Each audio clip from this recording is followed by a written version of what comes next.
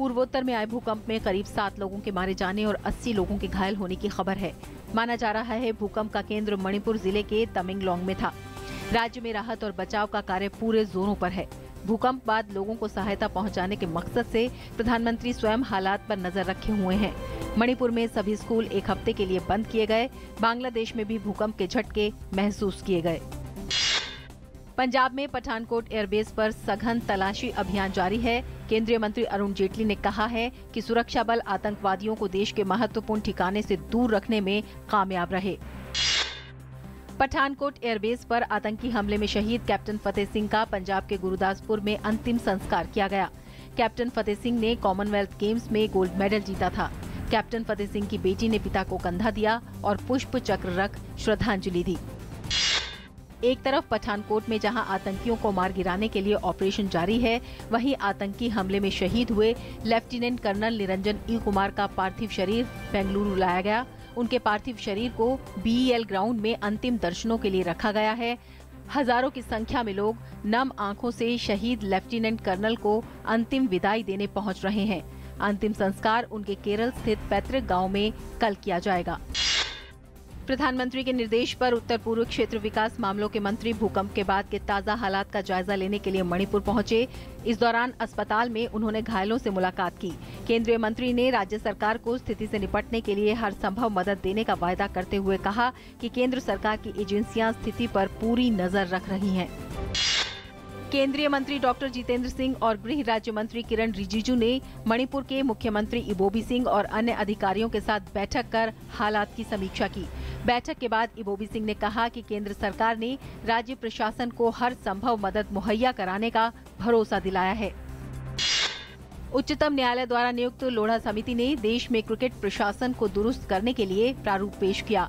BCCI और IPL के लिए अलग अलग निदेशक मंडलों की सिफारिश की और बीसीसीआई को भी सूचना के अधिकार अधिनियम के अंतर्गत लाने को कहा।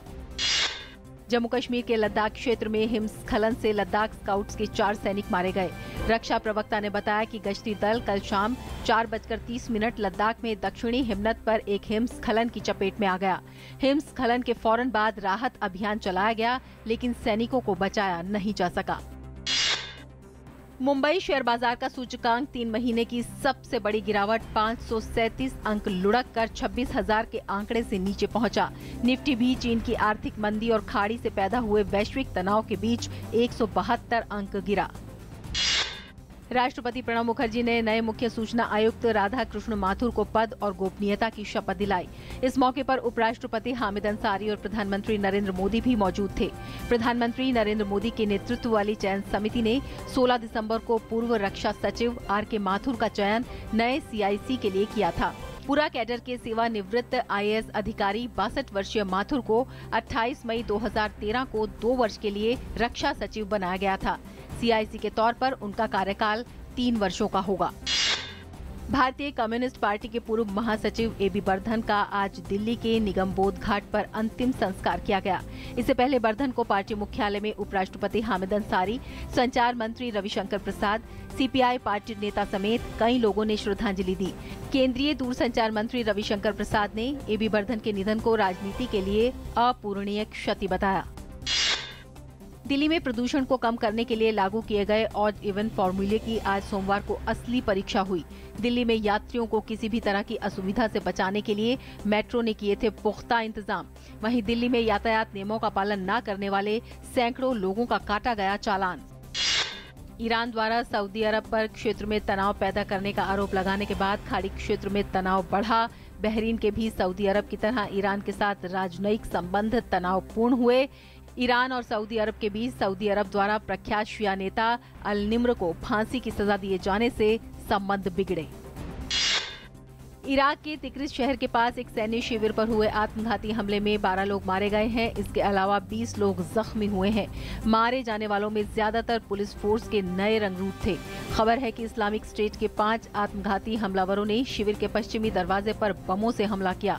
रमादी शहर पर इराकी सेना का कब्जा होने के बाद इस्लामिक स्टेट ने हमले तेज कर दिए हैं। जहाँ इराकी सेना का शिविर है, वहाँ पहले अमेरिकी सेना का कैंप स्पेचर हुआ करता था। ऑस्ट्रेलिया ने भारत के खिलाफ पहले तीन एक दिवसीय अंतर्राष्ट्रीय मैचों के लिए आज घोषित अपनी तेरह सदस्यीय टीम में अधिक से अधिक तेज गेंदबाजों को रखा है।